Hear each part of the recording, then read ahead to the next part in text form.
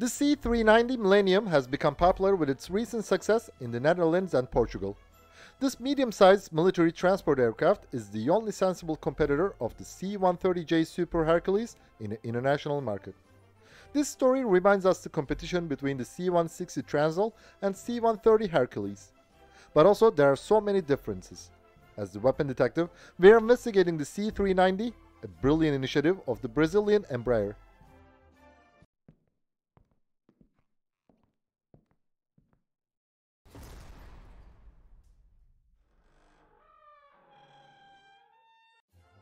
The C-390 is an intriguing medium-sized military transport aircraft.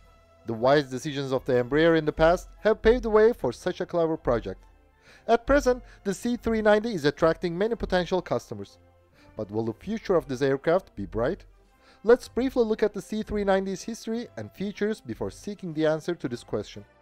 In 2005, Embraer began a study on a transport aircraft with the wing and General Electric CF-34 turbofan engine of the Embraer 190. It's still unclear whether this project is for direct military or civil use. But one year later, the company directly began to work on a military tactical transport aircraft design, which would have a similar size to the C-130 Hercules. In 2007, Embraer announced the project worldwide. Initially, the aircraft was named C-390. Yet the name was later changed to KC-390 since it would provide air refueling for other aircraft. In 2008, Brasilia decided to fund the project and considered acquiring 22 to 30 aircraft. Initially, Embraer considered the Pratt & Whitney PW6000 and the Rolls-Royce BR715 turbofan engines for the new aircraft. But after a careful assessment, it has chosen the IAE V2500 as the power plant.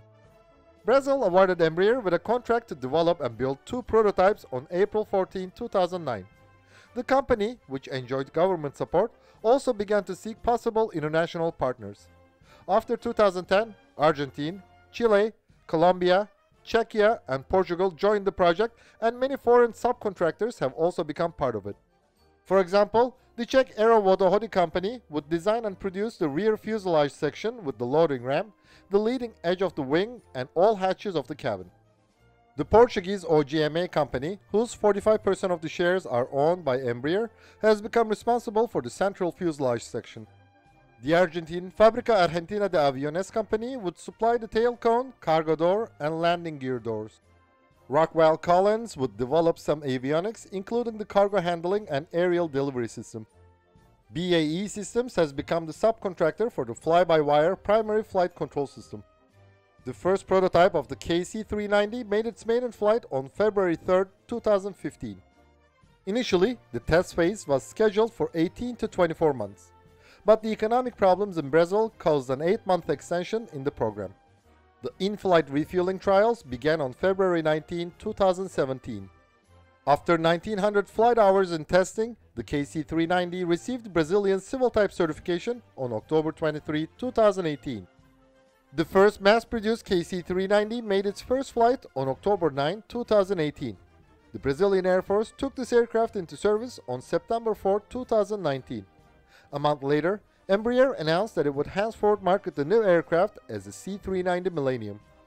Due to financial austerity measures caused by the COVID-19 epidemic, Brasilia reduced its C-390 order from 28 to 22 in 2021. At least six aircraft will be delivered permanently configured for aerial refueling missions.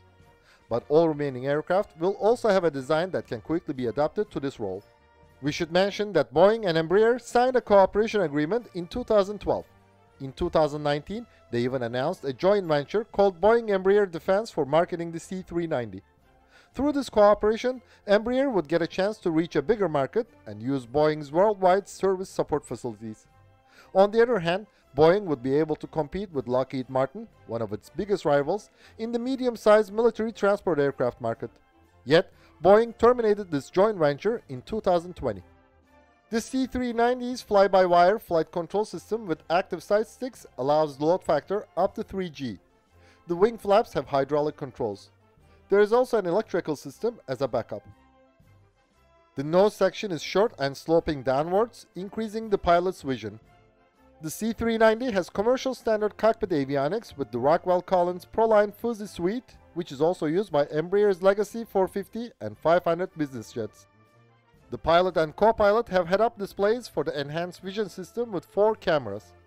The cockpit is compatible for use with night vision goggles.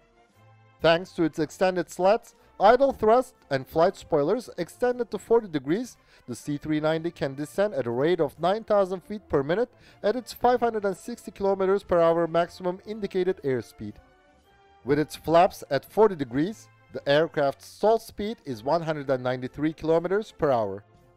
The aircraft can take off and land from semi-prepared runways with pits as deep as 40 centimeters. The cargo bay is 18.5 meters long, 3.45 meters wide, and 2.95 meters high. The C390 has a 26-ton maximum load capacity.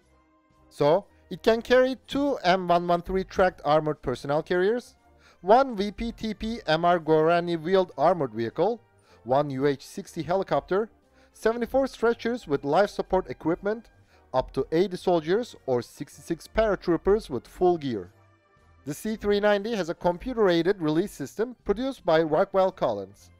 So the pilot or co-pilot can control the rear ramp. This feature eliminates the need for a loadmaster. Thanks to the 912E fuel delivering system produced by Cobham PLC, the C390 can refuel other aircraft in flight through two wing-mounted probes and drogue pods. It can deliver up to 1500 liters of fuel per minute at a speed of between 220 to 560 kilometers per hour. The Brazilian C-390s have a defensive suite including radar and missile warning receivers, chaff and flare dispensers produced by Elbit Systems. In 2011, Embraer announced that it would develop a civilian KC-390 with an extended fuselage. Brazil, Hungary, the Netherlands and Portugal have already ordered the aircraft. Argentina, Chile, Colombia and Czechia are the close candidates for the KC-390. Also, Peru and the United Arab Emirates expressed their intention to acquire the aircraft. The three-person crew of the C-390 consists of a pilot, co-pilot and loadmaster. The aircraft has a length of 35.2 meters, a wingspan of 35.05 meters and a height of 11.84 meters. The maximum takeoff weight of the C-390 is about 87 tons. The power plant consists of two 139.4 kN IAE V2500 E5 turbofan engines. Its top speed is 988 km per hour, while its cruising speed is 870 km per hour. The service ceiling is about 11,000 meters, in other words 36,000 feet. The range of the aircraft is 2,820 kilometers with 23 ton cargo and 2,110 kilometers with 26 ton cargo. Let's begin our analysis. Once upon a time, the French-German joint military transport aircraft, the C-160 Transall, dared to challenge the mighty C-130 Hercules. But the C-130 beat the C-160 globally. The Hercules was more reliable and capable than the Transall. Also, the production capacity of the US Lockheed Company was much higher than its European rivals. During the first Cold War conditions, the production of aircraft in large numbers at low prices was possible for a US aviation company. They were the fact that made the C-130 more affordable. Besides, when the US Air Force took more capable Hercules variants into its service, Washington gave the older models to other allied countries at low prices or even free. The C-160 could never compete with these advantages. At first glance, the situation for the C390 may seem remarkably similar to this story, but it's not. First of all, it is a different world. Today, no US aviation company can produce aircraft in large numbers at low prices due to its high margin profit oriented policy. Embraer estimated that the world would need 695 military transport aircraft to replace the aging ones in the next decade. So we can say that the Lockheed Martin cannot produce enough Super Hercules to fulfill this requirement. This company has the potential to increase its production capacity thanks to its technological and financial superiority. But it is not an economically feasible way. And today, Washington has no luxury of giving its allies surplus transport aircraft at low price or even free to replace their aging C-130s. Besides, the unit cost of the C-390 is considerably lower than the C-130J its biggest rival in the market. Also, it can carry over 7 tons more cargo than the Super Hercules. And it is faster. The Millennium's IAE V2500 turbofans are also used by the Airbus 320. It makes maintenance and finding spare parts easy. Even though the C-130J has its own advantages such as range, widespread global service support and the political aid of Washington, we should see that there is still a great open space for Embraer. But can we say that a shining future awaits for the C390? It is still too soon to claim that. Presumably, the USA won't mind losing some small markets, but it won't hesitate to fight hard for the bigger ones. After all, we can say that France and Sweden expressed their acquisition intentions for C390 as a type of bribery. These countries intended to make their offers to Brazil more attractive for the FX2 program. After Brasilia chose the Gripen, Paris and Stockholm immediately changed their direction. But Sweden, which has preferred to perform a midlife upgrade program for its aging C-130 fleet, may still choose the C-390 in the future. The vision of Embraer is the key to the current and potential success of the C-390. Recently, many new aviation companies have joined the competition in the market. They generally prefer fancy and ambitious jet fighter development programs. Maybe the experience of another Brazilian defense company, Engesa, has enlightened Embraer's way. Engesa developed and sold many successful armored vehicles in the 1970s. It was one of the major producers in this area. Encouraged by the success, the company developed the main battle tank in the 1980s, challenging its major Western rivals. And the ambitious attempt resulted in Engesa's bankruptcy. Embraer has developed and produced many successful commercial and military aircraft types. The major Western aviation companies lost their interest in these type of planes a long time ago. This policy has made Embraer highly successful so far.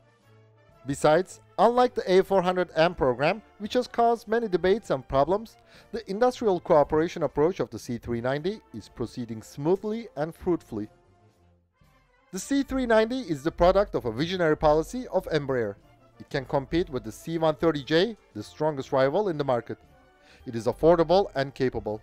As the weapon detective, we analyze that Embraer will generously reap a harvest of this successful project soon. Thanks for watching our video.